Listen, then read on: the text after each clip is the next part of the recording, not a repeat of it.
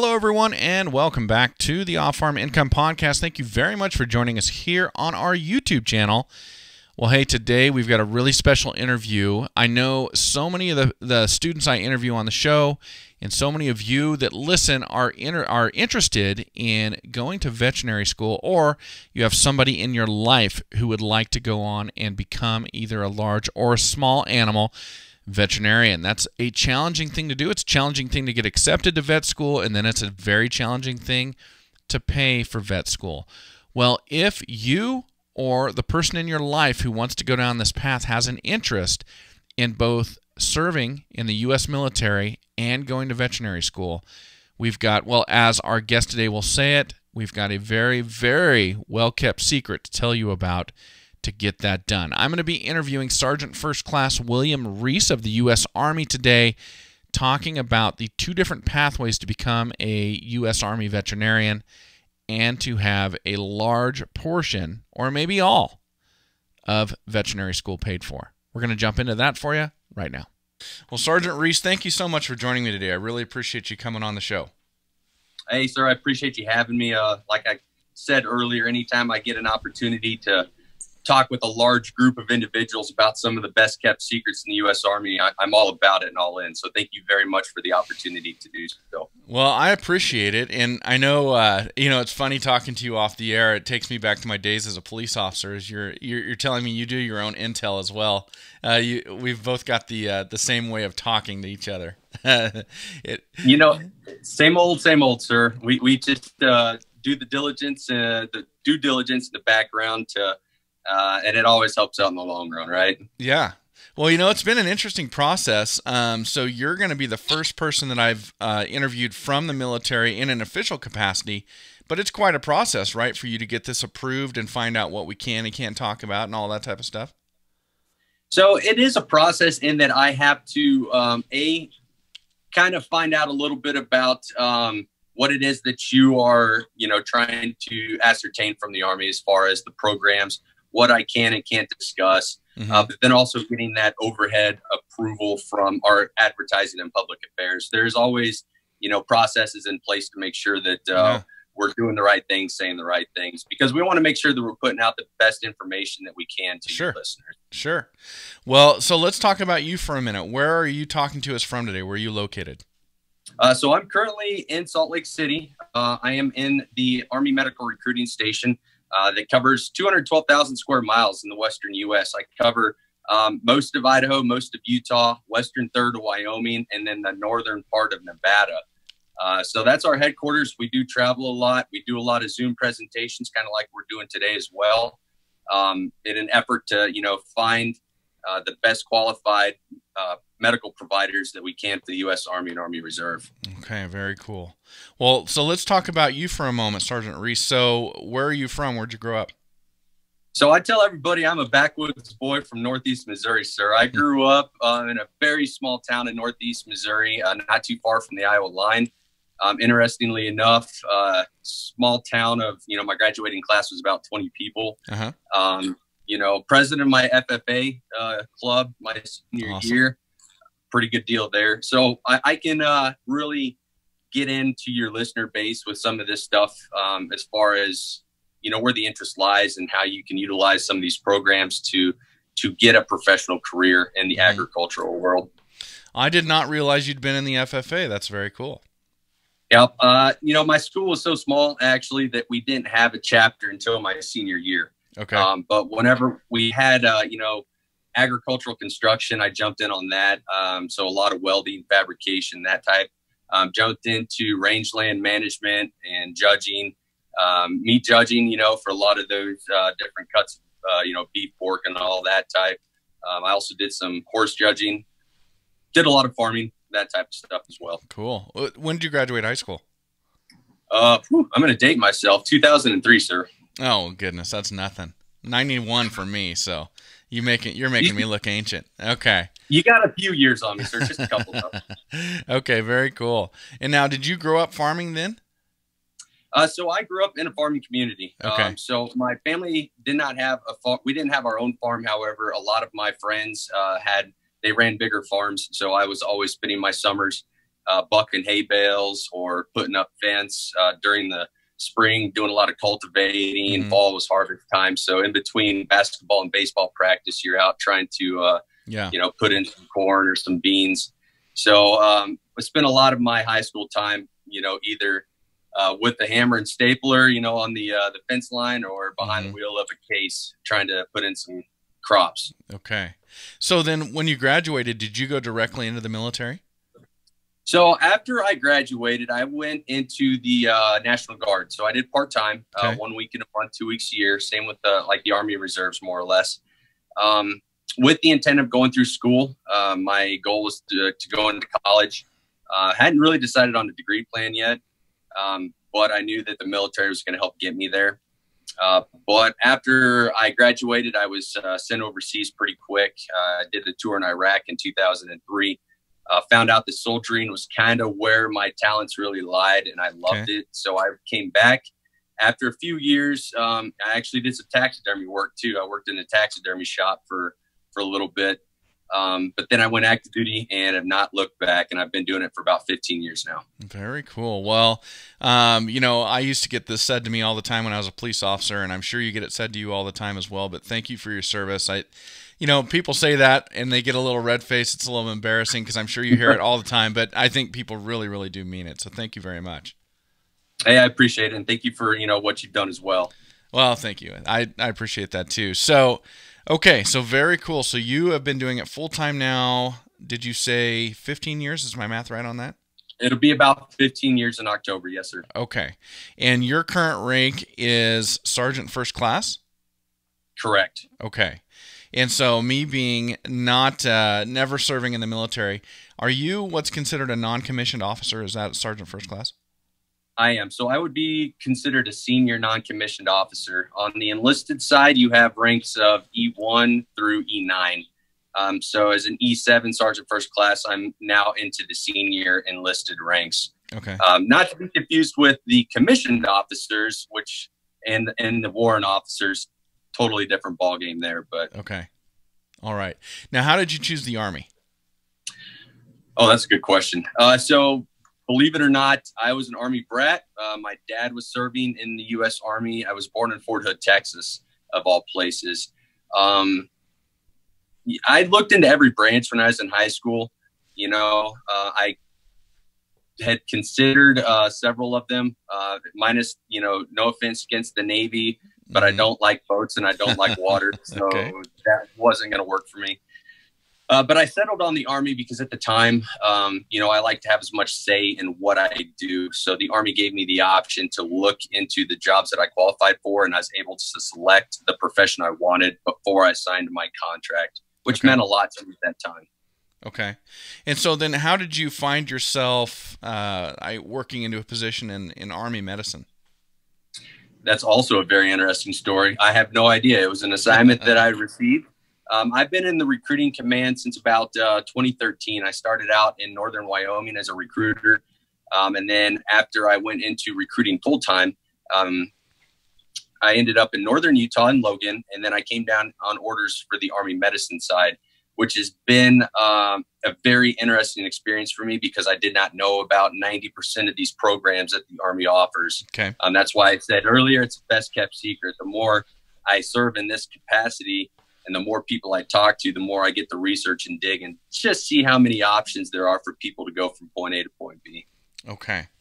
All right. Well, let's let's talk about the veterinary side for a moment. What does an army veterinarian? Well, and let me preface this a little bit too.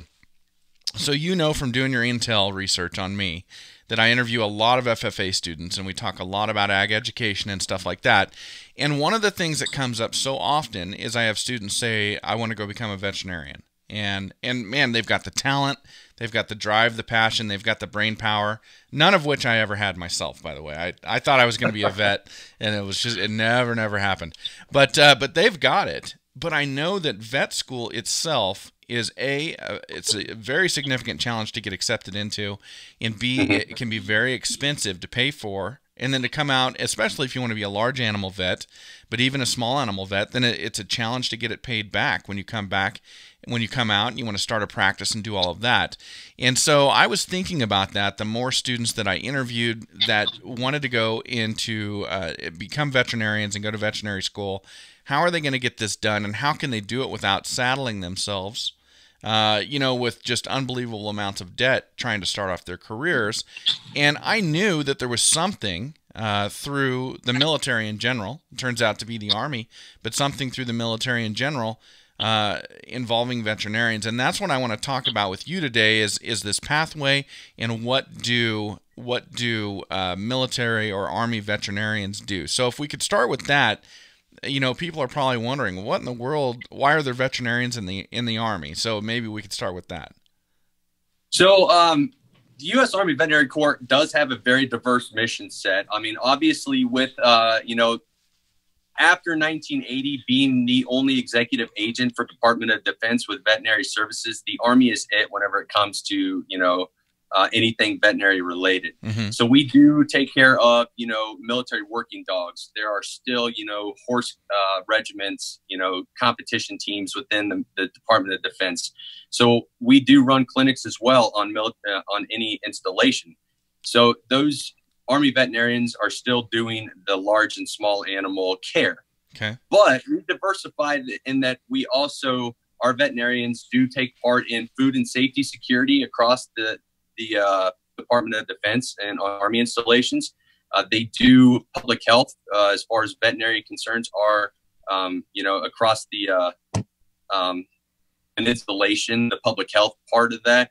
And they also do uh, participate in research and development as well. So our veterinarians are not just concerned with the, the health and welfare. That is a primary mission set, but they do have a very diverse mission set within our command.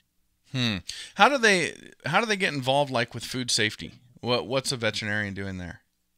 So uh, you know that goes back to even the 1800s, whenever uh, food was being sent to uh, military outposts in the in the West. Uh, veterinary corps officers back then were actually looking and inspecting food for safety, sanitary uh, purposes, reasons like that, making sure that it was fit for consumption to soldiers, and then sending it on their way. Um, so that's just a small piece of what they do is, uh, you know, for the Army today as well. Interesting. And did I read, and, and I think you may have just mentioned this, but did I read that on different Army bases, uh, there will be veterinarians there to provide veterinary services for the pets of, of soldiers who are stationed there? Now, I don't know with 100% certainty if the, the veterinary services are extended to the, uh, you know, personal pets or if it's strictly going to be towards, uh, you know, the military side of the house. Okay. Um, that I know there are veterinary clinics on military installations. Um, I've obviously been there and seen them. Um, so I would venture to say it would be a, you know, I hate assuming in this line of work because as a recruiter, it's always you want right. to be in black and white. Um, so I would say that it's a fairly safe assumption that they would be able to work in that capacity as well. Okay. Interesting stuff. Okay, so what are the pathways? If somebody wants to become a veterinarian in the Army, how can that occur? So we really have two options, Matt. Um, first and foremost, you know, you, uh, I believe it was the one that you originally uh, engaged me with was the Health Profession Scholarship Program uh-huh. through the Veterinary Corps. So that program is open to students who have been accepted into uh, an AVMA uh, accredited DVM or VMD program uh, okay. nationwide. So that would be the first step. And the HPSP, the scholarship program, provides uh, all tuition, all fees, books, anything that's related to cost of the school, the Army covers. We also provide a monthly stipend of over $2,300 a month to students. Um, and then after they complete their their program, they come into the U.S. Army Veterinary Corps as a captain. They serve their active duty service obligation, which is basically one year for every year that the Army paid for school. Okay. That's the first option, and that's what um, a lot of interest draws into uh, those scholarship programs. They're hidden gems, really. They are super competitive, but they are amazing if you're able to get uh, one of those scholarship programs. Okay.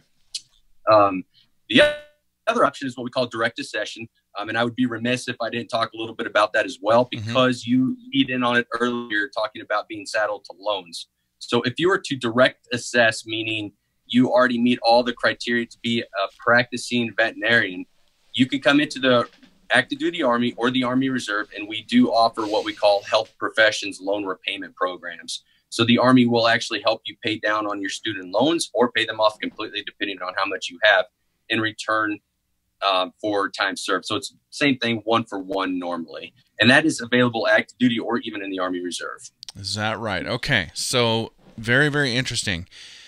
So I want to come back to the scholarship part. So to clarify the other half of it, you've already become a veterinarian, but you've got sixty thousand dollars. I'm just hypothetical number. You've got sixty thousand dollars in student loans, or who knows? Maybe you got two hundred grand. I don't know. Um, you've got it sitting there.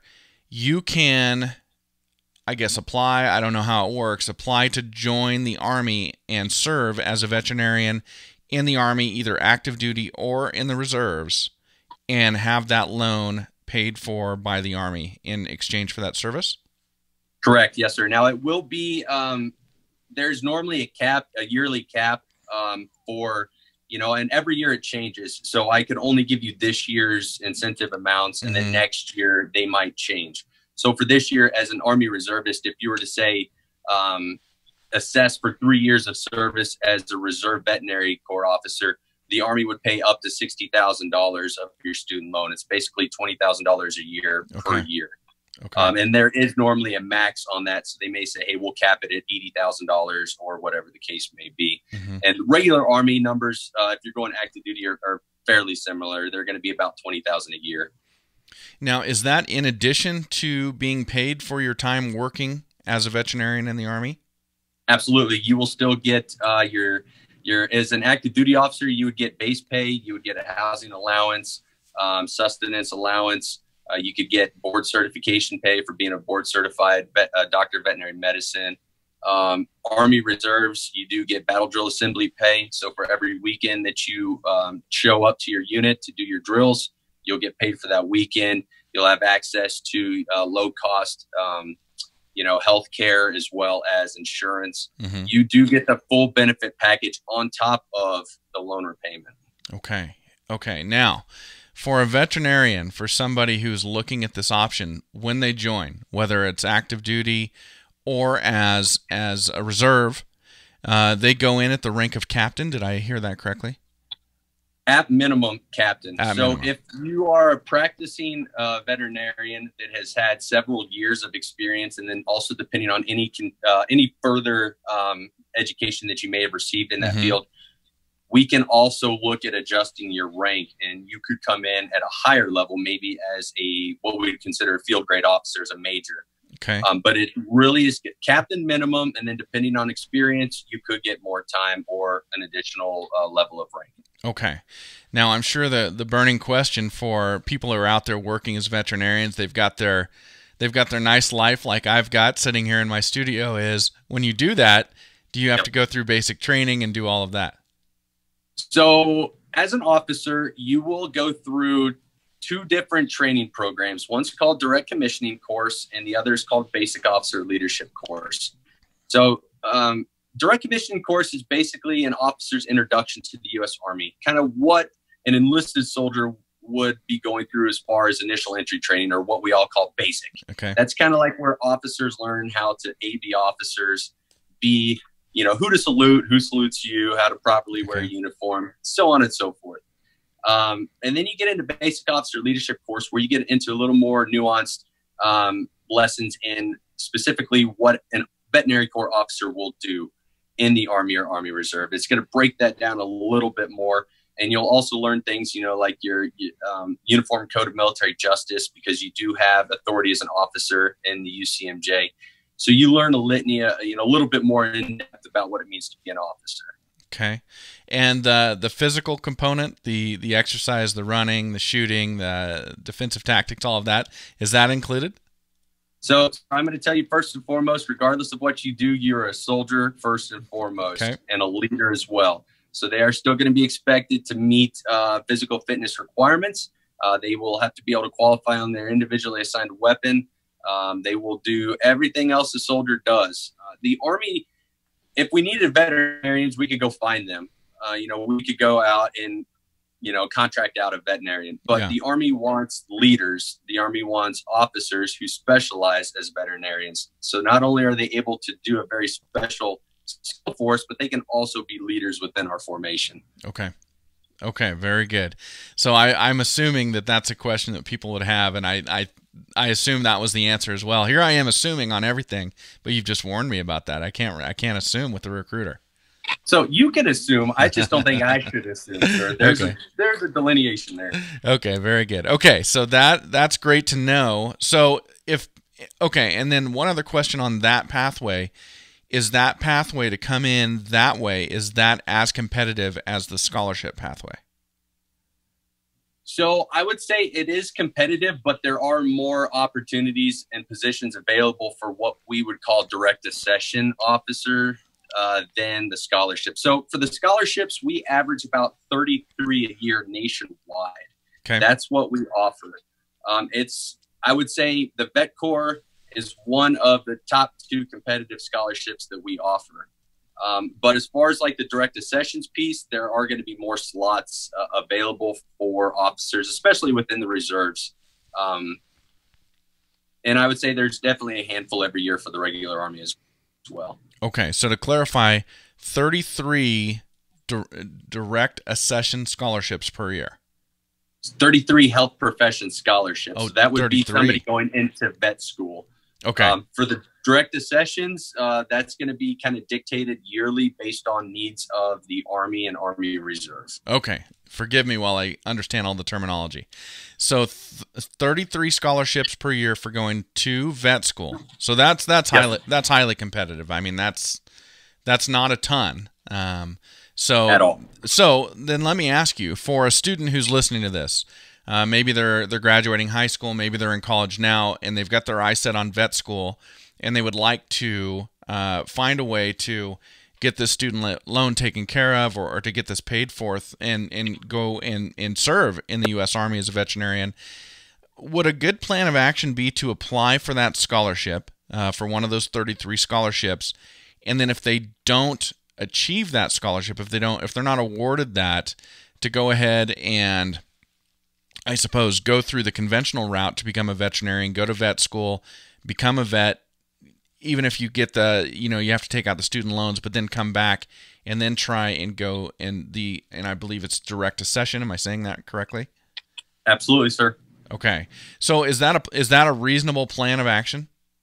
That is uh, 100% reasonable plan of action. I tell everybody that the uh, always apply for the scholarship. If, if you have an interest in doing it, if you are willing to serve your country, willing to be a leader, and you want to see if the if you can get one of those scholarships, apply. Because I've had people call me up and they're like, "Oh, that doesn't sound like something that I would achieve," you know, or they say, "Well, it's too competitive for me. I don't think I can make it." Well, you won't ever know unless you attempt it. Mm-hmm. Um, and we, you know, my here in my office, we do a very good job of sitting down and having realistic conversations. You know, we are career counselors and advocates for our applicants. We want to give them every opportunity to be successful in the profession that they're choosing. So we know how to, you know, build packets correctly, how to make sure that, you know, the the letters are saying the right things. You know, we give them guidance on how they should, uh, what right looks like, more or less. But like you said, if they do not get selected for the scholarship, go through the conventional route and then come back and talk to me about the reserves or the active duty option. We'll still be able to pay down your student loans. You're still going to come in as an officer. You'll still be able to serve. Okay. Um, and it's just another way to have your cake and eat it too. Yeah. Okay. That's great. Okay. So uh, you you went over this earlier, but I want to make sure and clarify this.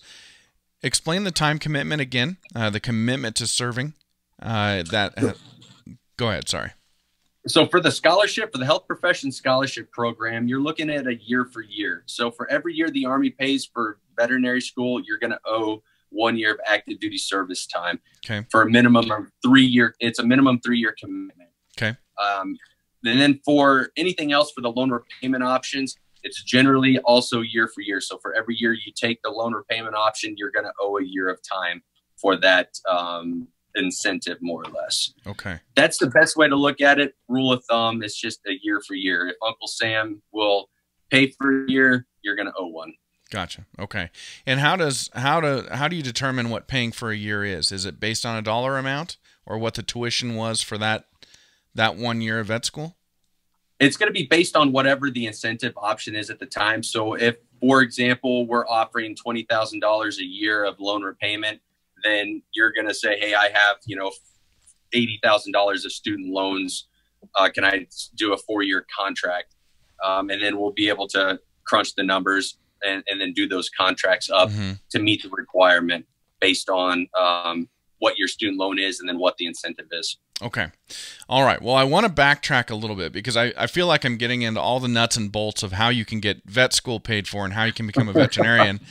but I don't want to make it sound like this is some sort of a trick or something. You should not do this unless you have got a desire to serve your country and to be a soldier first.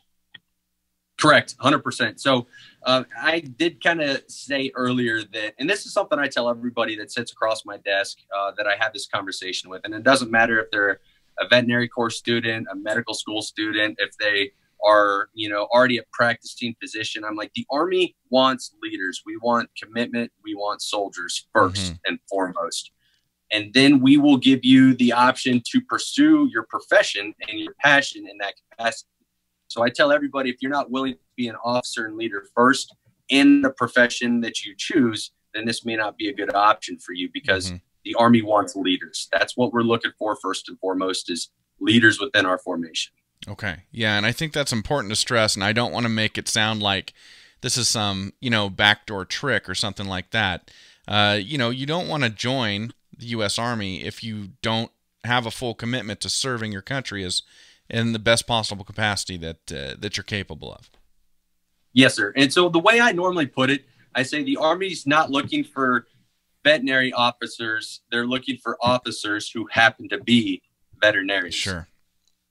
So you, there, there's always the emphasis on on the being a soldier first, and that is always one of the first things that we do stress to anybody looking into our options is, hey, you are a soldier, you are an officer first and foremost. Okay. Well, now here you are. Uh, you didn't start out intending to make a career out of the military, but then you got into it and realized how much you enjoyed it, and now you're making a career out of it. So, talk to folks who are considering this. Why do you enjoy? Why is this career path for you so enjoyable? Why do you like it so much? So, for you know, I, I always go back to uh, my what I would consider humble origins in uh, Northeast Missouri. Uh, my entire family still lives pretty much in the state. Um, a few of us have ventured out beyond the Missouri borders. Uh-huh. Uh, but I've had opportunities to travel. I've been overseas, you know, obviously the the awesome places like Iraq and Afghanistan, you know, but I've also been to, you know, Kuwait, Kazakhstan, all over Europe. I was stationed in Germany for three years, you know. Um, I got to bring my wife to Paris, France, and spend a week in downtown Paris. I mean, that's not too bad for a backwoods Missouri boy, you know, to be able to do something along those lines. Mm-hmm. Um, but the Army's given me the opportunity to not only travel, um, I'm still pursuing my education. I'll be completing my bachelor's degree probably uh, spring of 21, and I've already got my eye on a master's program Great. immediately after. Um, and natural resources actually is the direction I'm leaning towards. Um, but it's also given me skill sets, you know, as far as things that as a student, I was not aware of. So everybody gets it in their head about college degrees, certifications, that type of stuff. But mm-hmm. what they don't think about are soft skills that are just as important in a workplace. Things like the ability to work as an integral team player, problem solving, communication skills, leadership, all very valuable attributes that you can't get anywhere else except with real world experience. So the mm-hmm. Army's given me the option to pursue that that degree program, but they're also giving me the opportunity to develop myself in the soft skills and, and, then be a leader within an organization, which is, is paramount, I think, to be successful. That's great. Yeah, well put. Okay, that is awesome. What uh, what were your assignments uh, when you were in Iraq and Afghanistan? Uh, so my first tour back way back when in 2003, I was a, as a combat engineer. Uh, so we did a lot of route reconnaissance, bridge reconnaissance um, we did a lot of uh, what we call unexploded ordnance reduction. So unexploded bombs and munitions we would reduce. Um, we did a lot of uh, minefield surveys and markings as well in southern Iraq. Tons of fun there. Um, my second tour in Iraq and then my subsequent tour in Afghanistan as an infantryman, I served as a uh, uh, squad leader, an infantry squad leader, a fire team leader, section sergeant, uh, basically just leadership positions on, on the infantry side after I went into the active duty part. Wow. That's interesting stuff. I can't tell if you're being uh, if you're being facetious or serious when you say like Southern Iraq, lots of fun there. So it was actually it was a little bit of both. Um, you know, not very many people could say that they've had to go mark minefields out uh, uh-huh. like we did. It was kind of an interesting experience whenever it happened. Um, the several times it happened, uh, but it's a you know real world application of the lessons that you learned in basic combat training. You remember those skills that your drill sergeants told you mm-hmm. were so important. And you're like, yeah, I'm never going to use that. And then you find yourself actually using it mm. and you remember those lessons very quickly. Very cool. Okay, now when you were in when a, a combat a combat zone that that type of area, did you ever encounter or see any veterinarians working in that in that type of an area? So, no, not that I can recall off the top of my head. Now we did have. I actually I take that back. We did have um, what we called uh oh, I don't even remember the name of the teams. There were civil support teams in Afghanistan mm-hmm. uh, that would come out and they would do things like um, clinics. They would do vet clinics. They would do public health clinics to where they would do immunizations for children and free clinic checkups. Uh, we had engineers come out, civil engineers that would come and look into uh, in- infrastructure for you know small villages, uh, predominantly looking at irrigation uh, for a lot of the uh, agricultural regions that we operated in in southern Afghanistan.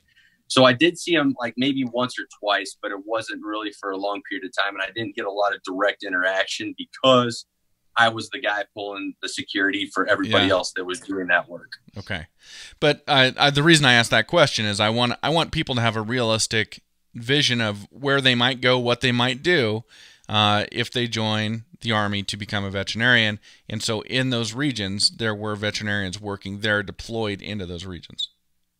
Absolutely. So I do tell everybody once again that sits across my, you know, desk from me, mm-hmm. if you decide to work in the capacity of a soldier, it's not a matter of if, but when you will be deployed. Now, some soldiers, you know, go their entire careers without an overseas assignment.